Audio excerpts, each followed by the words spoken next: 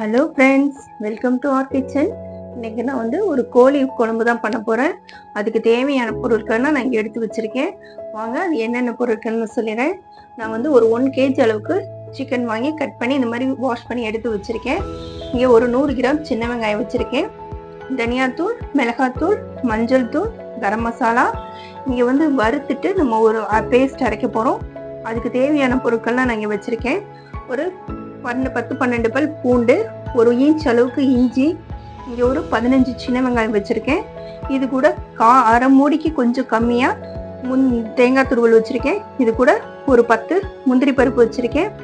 இங்கே ஒரு table spoon அளவுக்கு சோம்பு ஒரு ஒரு முக்கால் டேபிள் ஸ்பூன் அளவுக்கு ஜீரகம் அதே அளவுக்கு மிளகு. இங்கே வந்து பட்டை லவங்கம் ஏலக்காய் ஒரு ஸ்டார் அனீஸ். இங்கே தாளிக்கிறதுக்கு ஒரு பிரிஞ்சி இலை கொஞ்சம் கல்பாசி கொஞ்சம் சோம்பு மிளகு தக்காளி. தக்காளி வந்து ஒரு பெரிய தக்காளியா மூணு தக்காளி கட் பண்ணி வச்சிருக்கேன். இதுதான் நம்ம தேவையான பொருட்கள். வாங்க இதை எப்படி செய்யலாங்கிறத பார்க்கலாம்.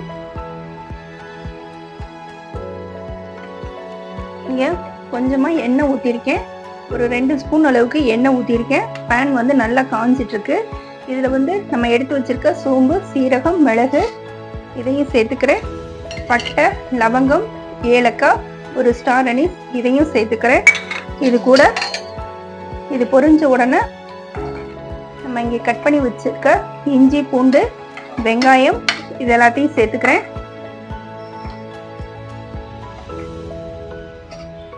இது கூட வெங்காயம் இஞ்சி பூண்டு இதையும் சேர்த்துக்கிறேன். சேர்த்துட்டு கொஞ்சம் வதங்கட்டும். வதங்கினதுக்கப்புறம் தக்காளி முந்திரி தேங்காய் துருவல் இது எல்லாத்தையும் சேர்த்துக்கலாம். இப்போ வெங்காயம் இஞ்சி பூண்டெல்லாம் வதங்கிடுச்சு. இதில் நான் மூணு தக்காளி சொல்லியிருந்தேன். அதில் வந்து ஒரு பாதி தக்காளி ஒன்றரை தக்காளியிலேருந்து ரெண்டரை தக் ரெண்டு தக்காளி வரைக்கும் நம்ம வந்து வதக்குறதுல சேர்த்துக்கலாம். ஒரு தக்காளி வந்து நம்ம திரும்ப வதக்கும் போது தாளிக்கும் போது சேர்த்துக்கலாம். இப்போ தக்காளி வந்து நல்லா வதங்கிடட்டும். வதங்கினோன்னா மித்த பொருள்லாம் சேர்த்துக்கலாம். இப்போ வெங்காயம் தக்காளிலாம் நல்லா வதங்கிடுச்சு. இது கூட தேங்காயும் முந்திரி பருப்பும் சேர்த்துக்கிறேன். சேர்த்துட்டு இது நல்லா வதங்கினதுக்கப்புறம் இதை ஆற விட்டு ஒரு பேஸ்ட் மாதிரி அரைக்கணும். அரைச்சி எடுத்துட்டு வந்துட்டு உங்களுக்கு காமிக்கிறேன்.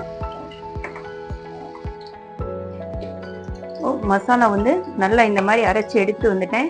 இனிமேல் குழம்பு தாளிக்க ஆரம்பிச்சிடலாம். இப்போ இங்கே ஒரு பாத்திரம் வச்சு அதில் ஒரு நாலு டேபிள் ஸ்பூன் அளவுக்கு எண்ணெய் ஊற்றிருக்கேன் இதில் ஒரு பிரிஞ்சி இலை கொஞ்சம் கல்பாசி கொஞ்சம் வந்து சோம்பு கொஞ்சம் மிளகு. இதை சேர்த்துக்கிறேன். ஏன்னா நம்ம கரம் மசாலா வந்து தூளாக போட போகிறேன் அதனால இப்போ வேறு எந்த ஸ்பைசஸும் நான் ஆட் பண்ணலை. இது கூட சின்ன வெங்காயம்.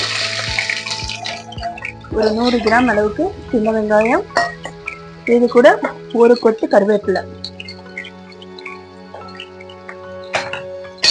இது கூட வெட்டி வச்சிருக்க ஒரு ரெ- ஒரு ஒன்றரை தக்காளி சேர்த்துக்கிறேன். இது நல்லா வதங்கி வரட்டும். இது நல்லா வதங்கி வந்ததுக்கப்புறம் நம்ம பார்க்கலாம். இப்போ வந்து சிக்கன் வெங்காயமும் தக்காளியும் நல்லா வதங்கிட்டு இருக்கு. இன்னும் கொஞ்ச நேரம் நல்லா வதங்கணும். வதங்கினதுக்கப்புறம் நம்ம வந்து சிக்கனை சேர்த்துக்கலாம்.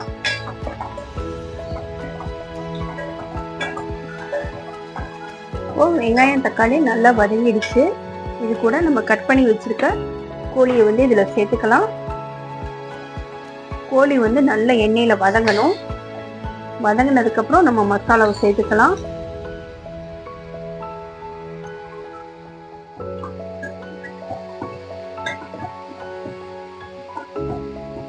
இப்போ இது கூட கொஞ்சமா ஒரு ஒரு டீஸ்பூன் அளவுக்கு மஞ்சள் தூள் சேர்த்துக்கிறேன்.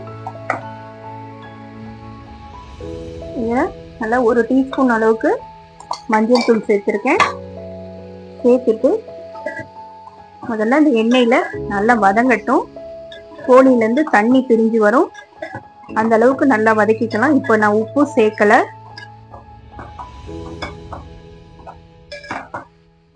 ஒரு மூடி போட்டு வச்சு நல்லா வதக்கிக்கலாம். ஒரு ரெண்டு நிமிஷம் மூடி போட்டு வச்சிடுறேன்.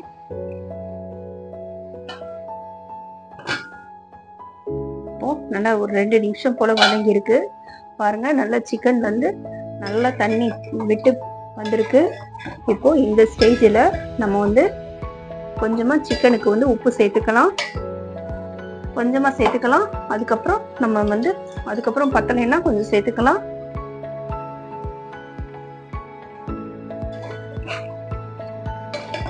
இப்போ இது கூட நம்ம முதல்ல மிளகாத்தூள் தனியாத்தூள் கரம் கரம் மசாலா வந்து கடைசியில் சேர்த்துக்கலாம். இப்போ மிளகாத்தூளும் ம தனியாத்தூளும் சேர்த்துக்கிறேன். நான் வந்து ஒரு மூணு ஸ்பூன் அளவுக்கு தனியாத்தூள்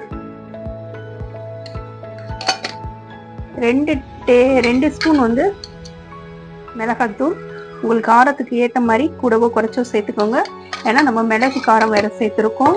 அதனால நீங்கள் காரத்துக்கு ஏற்ற மாதிரி சேர்த்துக்கோங்க. இப்போ இதுவும் ஒரு ரெண்டு நிமிஷம் நல்லா வதங்கட்டும். வதங்கினதுக்கப்புறம் நம்ம வதக்கி அரைச்சி வச்சு வந்த பேஸ்ட்டை இதில் சேர்த்துக்கலாம். இப்போது நல்லா ரெண்டு நிமிஷம். நல்லா எண்ணெயில் இந்த மசாலாவெலாம் அதாவது மிளகாத்தூள் தனியாத்தூள் சேர்த்துட்டு நல்லா வதக்கியாச்சு.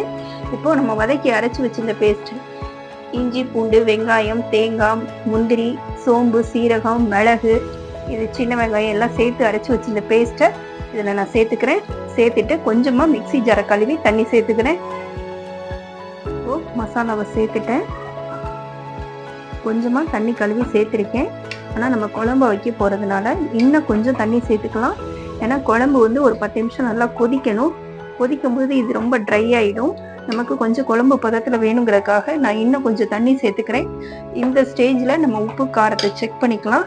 செக் பண்ணிவிட்டு நம்ம வந்து ஒரு மூடி போட்டு நல்லா சிக்கன் வேகிற அளவுக்கு ஒரு பத்து நிமிஷம் நல்லா மூடி போட்டு வேக வச்சுக்கலாம். உப்பு காரத்தை செக் பண்ணிக்கிறேன். இப்போ உப்பு கம்மியாக இருக்குது நான் கொஞ்சம் உப்பு சேர்த்துக்கிறேன். காரம்லாம் சரியாக இருக்குது இப்போ இந்த குழம்பு வந்து நல்லா கொதிக்கட்டும். கொதிச்சு வந்ததுக்கப்புறம் பார்க்கலாம். ரெண்டு நிமிஷம் நல்லா கொதிக்கட்டும்.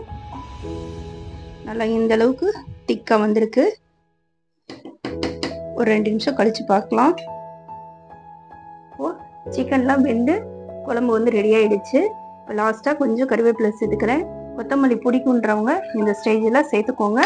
நான் வெறும் ஃப்ரெஷ்ஷான கருவேப்பிலை மட்டும்தான் சேர்த்துருக்கேன்.